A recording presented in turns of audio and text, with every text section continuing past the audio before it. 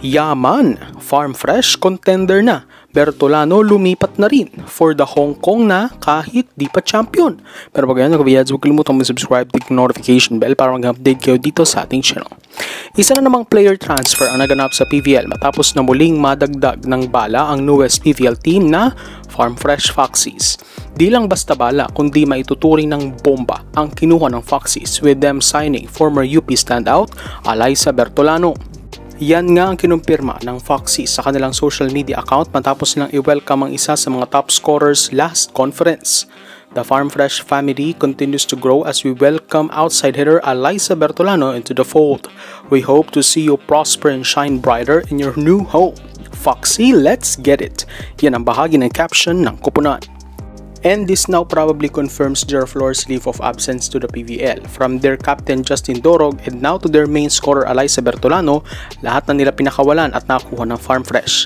Ibig sabihin, tila isa-isa na ngang nagsisialisan at lipatan ng mga kupuna ang mga players ng defenders. So makakapag-expect tayo na marami pang players ng Flor ang makakahanap ng bagong team at marahil marami rin dito ang mapupunta sa NX-led Chameleons. So far, maaari nang masabing contender ang Foxies dahil sa bigat ng lineup na meron sila. Actually, posibleng ang trio ni Natubo, Bertolano at Santiago ang bubuo sa frontline ng Foxies. Good move na rin ito for them dahil alam naman natin na maraming players sila na naka-special license lamang sa PVL. So adding these full-time pro players na sila Berto at Dorog, eh mas magkakaroon sila ng solid core without relying on their CS big gels. Pero di pa dyan natatapos dahil sa sobrang yaman ng Farm Fresh ay eh bukod sa player recruitment ay eh isang pangmalakasang trip abroad naman ang kanilang makakamtan. For the Hong Kong nga muna ang Foxy Girls para sa isang maiksing bakasyon at maaring para na rin magkaroon ng mas malalim na pagkakakilanlan ang bawat isa. We'll be having a trip, uh, we are thankful sa sponsor, they will bring us to Hong Kong. Malaking bagay din yun to develop the chemistry of the players. Yan ang pahayag ni head coach Cherry Yee. Well, napakagalante nga naman siguro ng mga boss ng Farm Fresh. Isipin nyo, never pa silang nanalo ni isang PVL game. Ang team na ito pero to Hong Kong na agad sila.